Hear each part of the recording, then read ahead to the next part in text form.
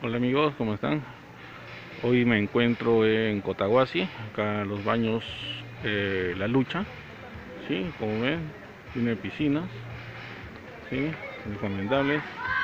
Allá tiene al fondo una piscina para natación. Acá tiene unas cámaras de agua caliente donde tú puedes poner tus hierbas o puedes hacerte preparar. Y también tiene sauna. Cuidado, con cuidado. Sí, cámara a vapor y cámara seca. Recomendable.